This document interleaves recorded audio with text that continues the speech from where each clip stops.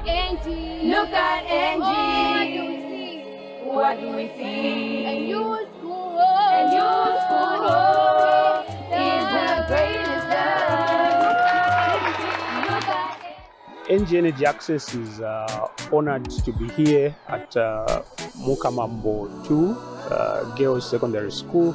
Uh, looking around the school, the needs are so many, and uh, we see a lot of opportunities uh, for corporates like ourselves to partner and plow back into, into the communities. My name is uh, Doreen Sonkasonka Hara, the head teacher for Mukamambo Girls Secondary School. We want to say thank you very much and we implore the organization to continue plowing back into the community.